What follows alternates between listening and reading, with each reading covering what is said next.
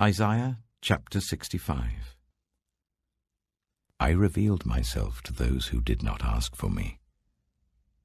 I was found by those who did not seek me.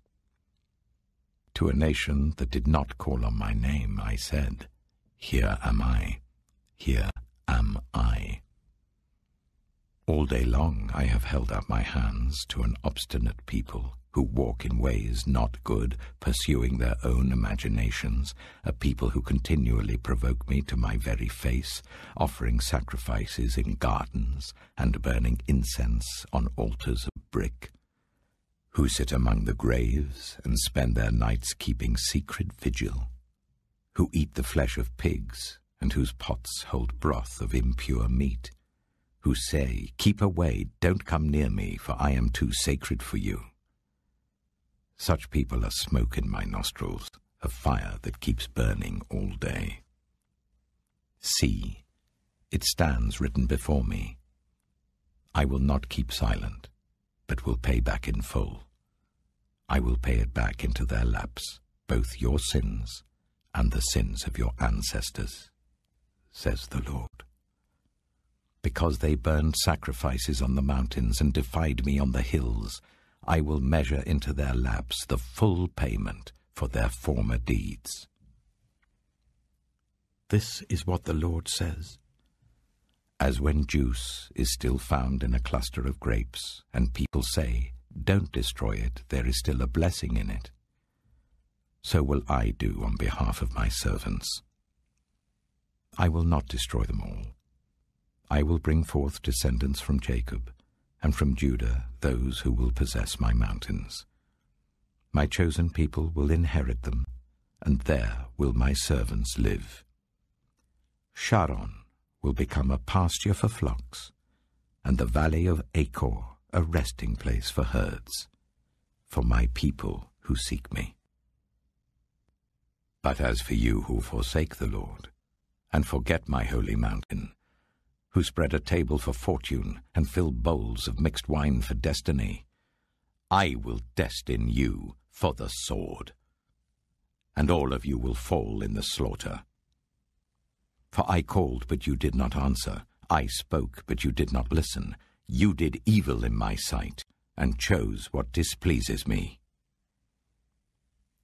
Therefore, this is what the sovereign Lord says My servants will eat but you will go hungry. My servants will drink, but you will go thirsty. My servants will rejoice, but you will be put to shame. My servants will sing out of the joy of their hearts, but you will cry out from anguish of heart and wail in brokenness of spirit. You will leave your name for my chosen ones to use in their curses the sovereign Lord will put you to death, but to his servants he will give another name. Whoever invokes a blessing in the land will do so by the one true God. Whoever takes an oath in the land will swear by the one true God, for the past troubles will be forgotten and hidden from my eyes. See, I will create new heavens and a new earth. The former things will not be remembered, nor will they come to mind. But be glad and rejoice forever in what I will create. For I will create Jerusalem to be a delight and its people a joy. I will rejoice over Jerusalem and take delight in my people. The sound of weeping and of crying will be heard in it no more. Never again will there be in it an infant who lives but a few days, or an old man who does not live out his years. The one who dies at a hundred will be thought a mere child. The one who fails to reach a hundred will be considered accursed. They will build houses and dwell in them. They will plant vineyards and eat their fruit. No longer will they build houses and others live in them, or plant and others eat. For as the days of a tree, so will be the days of my people. My chosen ones will long enjoy the work of their hands. They will not labor in vain, nor will they bear children doomed to misfortune. For they will be a people blessed by the Lord, they and their descendants with them. Before they call, I will answer. While they are still speaking, I will hear. The wolf and the lamb will feed together, and the lion will eat straw like the ox, and dust will be the serpent's food. They will neither harm nor destroy on all my holy mountain, says the Lord.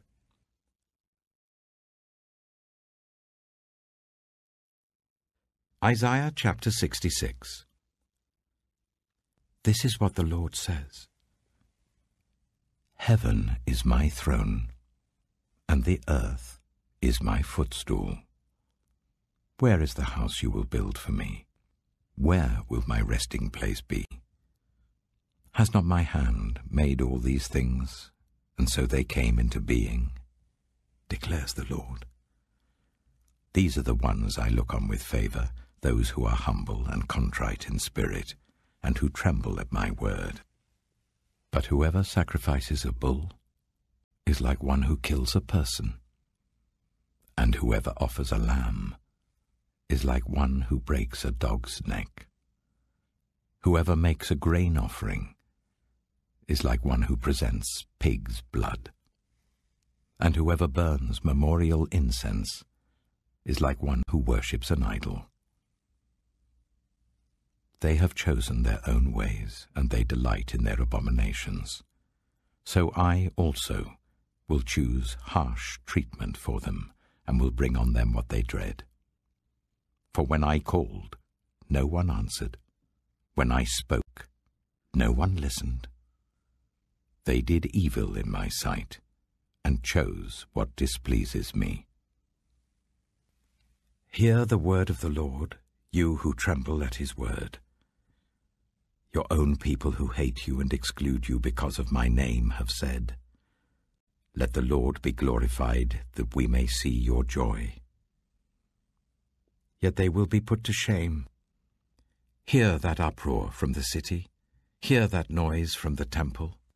It is the sound of the Lord, repaying his enemies all they deserve. Before she goes into labor, she gives birth. Before the pains come upon her, she delivers a son. Who has ever heard of such things? Who has ever seen things like this? Can a country be born in a day, or a nation be brought forth in a moment? Yet no sooner is Zion in labor than she gives birth to her children. Do I bring to the moment of birth and not give delivery? says the Lord. Do I close up the womb when I bring to delivery? Says your God. Rejoice with Jerusalem and be glad for her, all you who love her. Rejoice greatly with her, all you who mourn over her. For you will feed and be satisfied at her comforting breasts. You will drink deeply and delight in her overflowing abundance. For this is what the Lord says I will extend peace to her like a river, and the wealth of nations like a flooding stream. You will feed and be carried on her arm and dandled on her knees.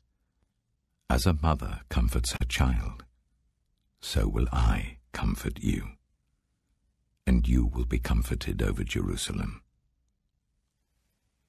When you see this, your heart will rejoice, and you will flourish like grass. The hand of the Lord will be made known to his servants, but his fury will be shown to his foes. See, the Lord is coming with fire, and his chariots are like a whirlwind.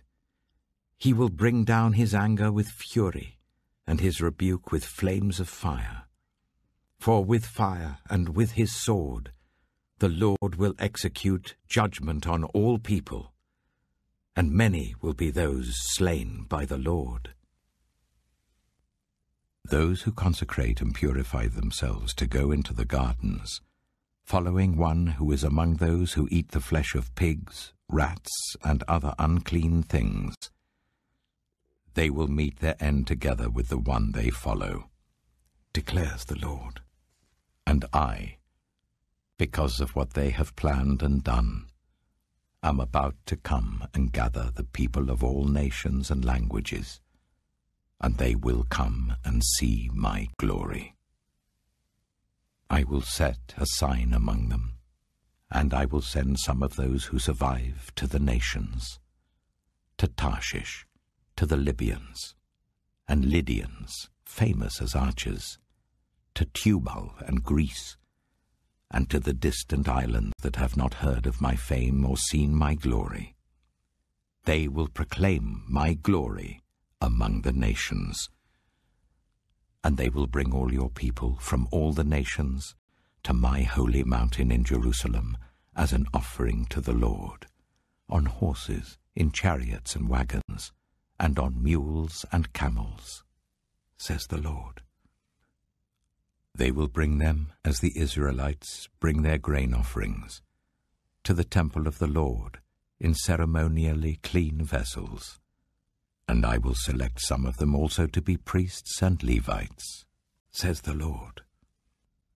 As the new heavens and the new earth that I make will endure before me, declares the Lord, so will your name and descendants endure from one new moon to another, and from one Sabbath to another. All mankind will come and bow down before me, says the Lord. And they will go out and look on the dead bodies of those who rebelled against me. The worms that eat them will not die. The fire that burns them will not be quenched, and they will be loathsome to all mankind.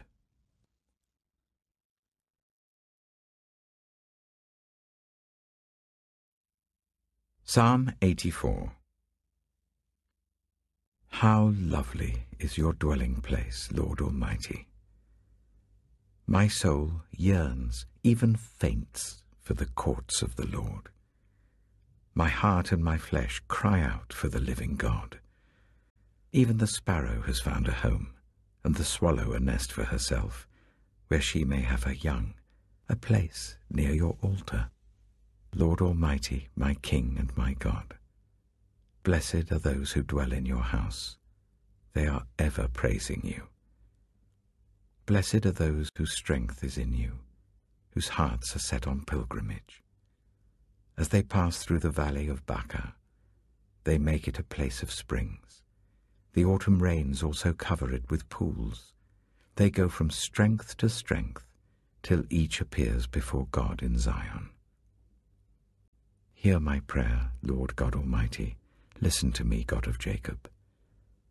Look on our shield, O God. Look with favor on your anointed one. Better is one day in your courts than a thousand elsewhere.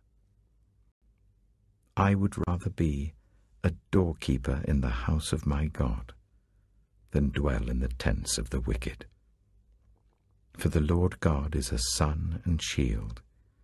The Lord bestows favor and honor. No good thing does he withhold from those whose way of life is blameless. Lord Almighty, blessed is the one who trusts in you.